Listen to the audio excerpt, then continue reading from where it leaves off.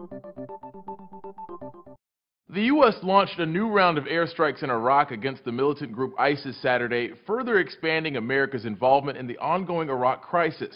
A statement from the U.S. Central Command confirmed nine strikes near Iraq's Mosul Dam destroyed or damaged four armored personnel carriers, seven armed vehicles, two Humvees, and an armored vehicle. The strikes were apparently meant to support an effort by Iraqi and Kurdish fighters to retake the dam from ISIS, who've claimed a large area of northern Iraq. It's still unclear how effective the operation was or how many fatalities they caused. The decision to use airstrikes and further entangle the U.S. in the conflict likely had a lot to do with the structure at the heart of the latest fighting, Iraq's largest hydroelectric dam, the Mosul Dam.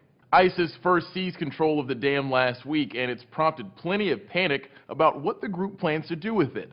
One analyst explained to CNN the dam is a critical part of Iraq's infrastructure and a powerful resource for whoever controls it. If you control the Mosul Dam, you can threaten just about everybody or a very substantial part of Iraq with flooding, with lack of electricity, with lack of water, the most dire risk, ISIS could destroy the dam, either on purpose or through failure to maintain the structure, which would cause cataclysmic results. If ISIS blows it up, it could send a wall of water 60 feet high through the city of Mosul and flood Baghdad 250 miles away. Flooding will wipe out everything along the river Tigris, cutting electricity, wiping out farmland, even Baghdad possibly underwater. But the BBC notes ISIS has opted to keep the dam up and running after capturing it in an apparent bid to control the water and electricity of the surrounding area. One analyst told Bloomberg controlling the dam gives ISIS a sense of legitimacy.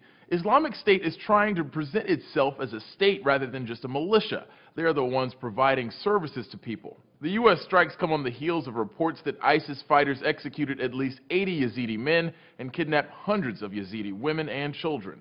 For Newsy, I'm Christian Bryant.